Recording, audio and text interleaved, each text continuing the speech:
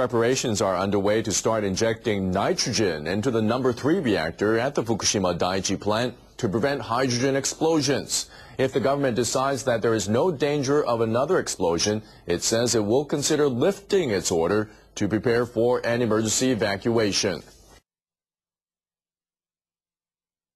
If the government decides that there is no danger of another explosion, it says it will consider lifting its order to prepare for an emergency evacuation.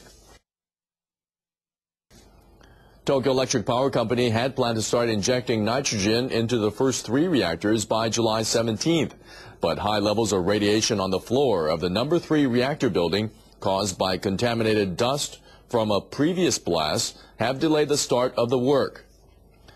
The utilities started cleaning the floor with a robot on Friday, but radiation levels in the cleaned area were still between 50 to 186 millisieverts per hour as of Saturday.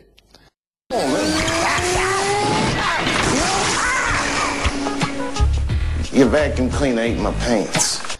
The company began covering the floor with steel sheets on Sunday, hoping to reduce the radiation levels by two-thirds. It will check the piping to be used for the injection on Wednesday and start connecting the pipes on Friday so that the operation can begin as scheduled.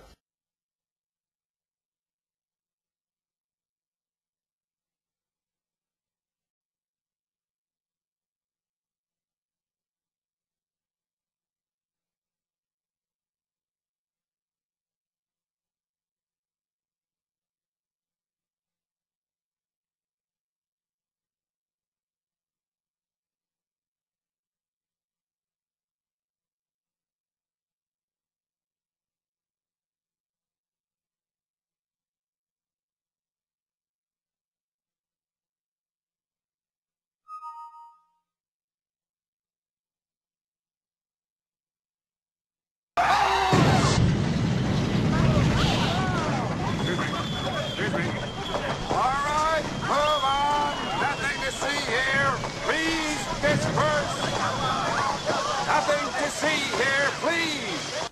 Japan's new nuclear crisis minister Goshi Hosono has inspected the monitoring of radiation levels in the evacuation zone around the Fukushima Daiichi nuclear power plant.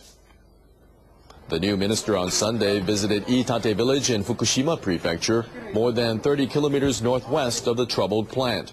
Hosono, who assumed the new position just last week, accompanied science ministry officials to see how they check levels of radioactivity. At one point during the tour, the monitors discovered a radiation level of 13.9 microsieverts per hour, far exceeding the legal limit that would require evacuation. He was told that measurements are taken at one meter above ground level. He asked the officials to keep as accurate a record as possible to ensure public safety. Decontaminating the area is a difficult challenge for us. What you talking about, but we'll continue to tackle this issue so that people can live safely and return home.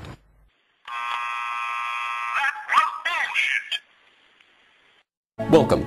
This is James Corbett of the Corbett Report with your Sunday update from the Center for Research on Globalization at globalresearch.ca on this third day of July 2011. And now for the real news. A series of disasters, potential disasters, bad news, and worrying studies over the course of the past week have brought public attention back to the issue of radiation and its attendant health risks, and further exposed how governmental agencies that are supposed to protect the public have in fact knowingly put the public at risk and even colluded with the very industries they are supposed to be regulating. Last Sunday, a wildfire started in New Mexico that grew to a 162 square mile inferno and came within 50 feet of the grounds of the Los Alamos National Laboratory that was the birthplace of the atomic bomb. The site is an historical testing ground for nuclear weapons and a storage area for about 20,000 barrels of nuclear waste. The disaster exposed the remarkable fact that this nuclear waste was stored not in a secure containment facility or even in a solid building, but in a fabric-type building that would be quickly consumed by the fires. In addition to the risk of the nuclear waste burning up in the fire and sending radioactive materials into the atmosphere, Joni Arends of the Concerned Citizens for Nuclear Safety has pointed out that the fire could stir up the nuclear contaminated soil on lab property, where nuclear experiments have long been conducted. In either event, harmful radiation could pass into the jet stream to be distributed across the United States and beyond.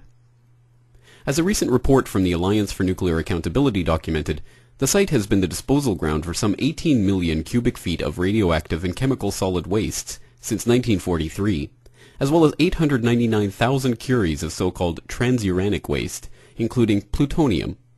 Liquid wastes from the plant were discharged into the canyons, initially with little treatment whatsoever. Winds have now shifted the fire away from the facility, and initial air samples from the inferno have indicated there has been so far no catastrophic release of radiation in the area.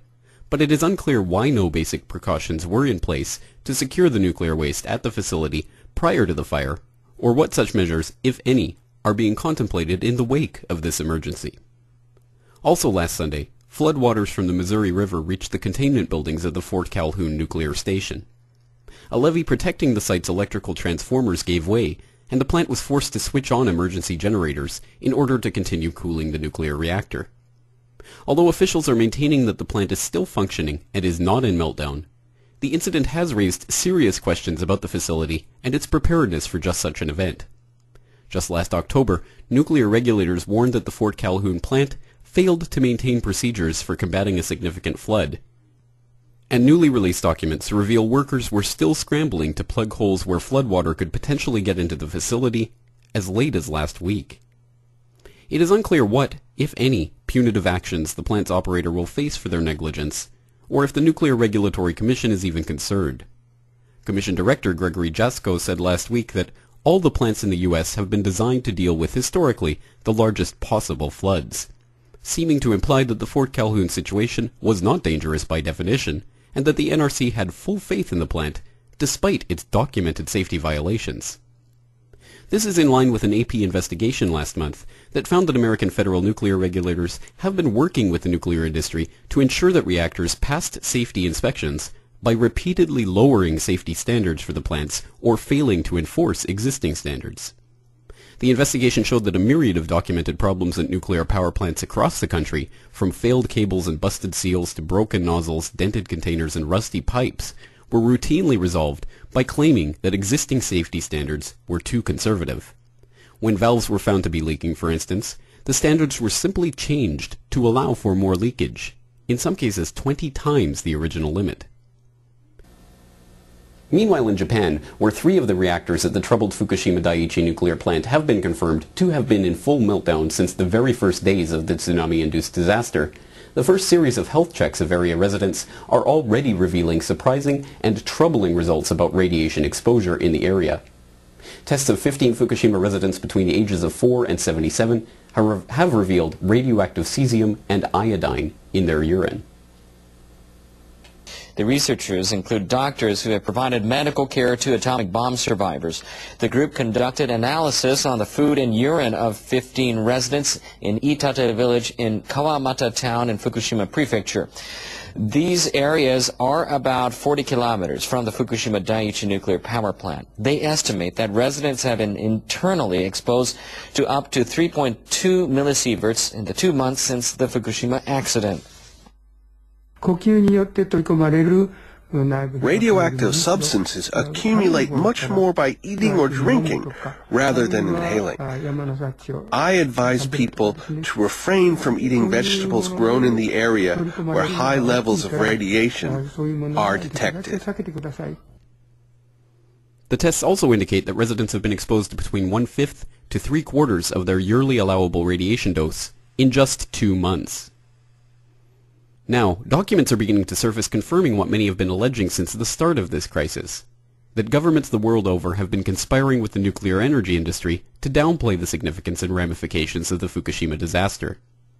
Just last week, emails released under the Freedom of Information Act show how the Departments of Business and Energy in the UK government were coordinating their response to the Japanese disaster with companies like EDF Energy, Areva, and Westinghouse to ensure the accident did not interfere with plans to build a new generation of nuclear power plants in Britain.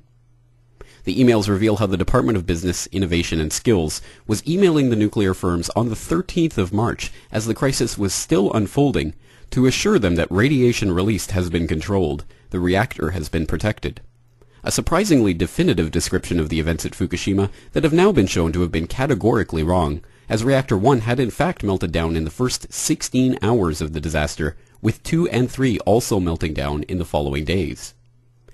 The emails also show how the BIS intimated that comments from the nuclear industry would be worked into the department's briefs to ministers and government statements. We need to all be working from the same material to get the message through to the media and the public. In other radiation-related news, an entirely different set of emails among government officials obtained under the Freedom of Information Act last week revealed that the National Institute of Standards and Technology, the very same organization that has refused to release the data that its model for the collapse of World Trade Center 7 was based on because it would jeopardize public safety, has accused the Department of Homeland Security of lying about its findings on the safety of the full body scanners being used in airport screenings by the TSA. The email reveals how NIST rebuked DHS head Janet Napolitano for claiming in a USA Today op-ed that AIT machines are safe, efficient, and protect passenger privacy. They have been independently evaluated by the Food and Drug Administration, the National Institute of Standards and Technology, and the Johns Hopkins University Applied Physics Laboratory, who have all affirmed their safety. According to the email, however, NIST was angry at this mischaracterization of their work, pointing out that NIST does not do product testing, and NIST did not test AIT machines for safety. As it turns out, not only did Napolitano lie about NIST's certification of the scanner safety, but she also lied about the Johns Hopkins backing of her position. An internal document produced by Johns Hopkins for the DHS shows that far from affirming the safety of the technology, the university in fact warned that the scanners as designed produces an area around the machine that exceeds the general public dose limit for radiation exposure. Napolitano's op-ed was widely criticized at the time because Dr. Michael Love, the head of an X-ray lab at Johns Hopkins, warned just two days before the op-ed was published that, statistically, someone is going to get skin cancer from these X-rays. For more on this story and other breaking news and current events, please go to globalresearch.ca.